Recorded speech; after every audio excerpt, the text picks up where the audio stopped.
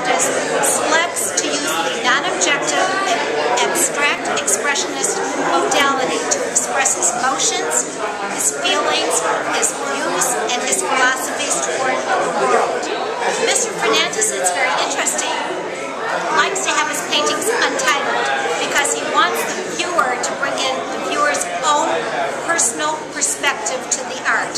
It's uh, He's almost a producer of this beautiful art. So each individual emotions, thoughts, and theories to the art. We're very proud to showcase Roberto Fernandez here in Chelsea, New York City, which is the International Art District of the World, located on West 25th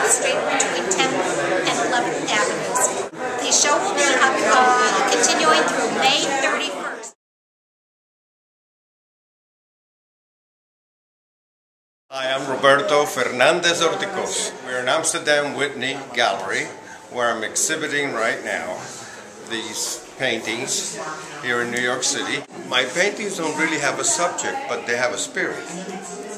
And if, if you if you look at my paintings, uh, you'll find that um, they do talk to you. Look at the other paintings that I have in my CD there. Some of them uh, don't have a lot of. Some of them are very black and white. Some of them are, very black, very solid color, almost.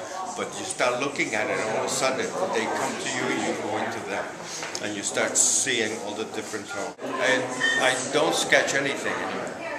I did that years ago. That what you you know, try to sketch everything you see. Now I, I it's better to memorize.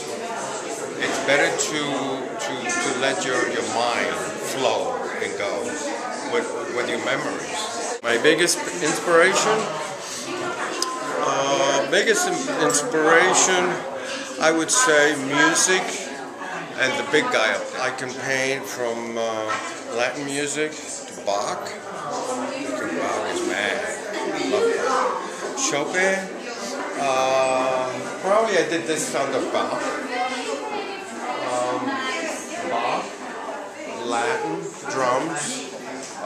This one I probably, I probably was a combination of Chopin, and this one's Latin. How did you get involved with the paintings? Well, how are you connected? We've known each other for a very long time. Very, very long time. And I knew that this was something that was in his soul, but other stuff happens in life and career-wise. Uh, I mean, you know, he was born in Havana, Cuba, left just before the revolution. The story's a, a book in itself, an extraordinary book. This is 10 to 12 years to get to this moment.